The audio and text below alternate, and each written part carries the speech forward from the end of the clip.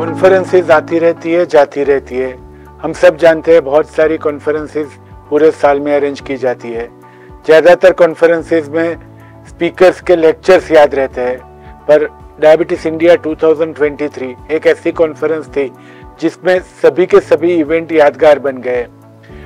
Lecture से लेके venue से लेके हॉस्पिटैलिटी से लेके इंडिविजुअल केयर तक। डॉक्टर भरत साबू और उनकी टीम ने डॉक्टर मनोज चावला ने और बंसी साबू ने सभी ने इतनी सारी कोशिशें की और सब कोशिशें बहुत ही कामयाब हो गई।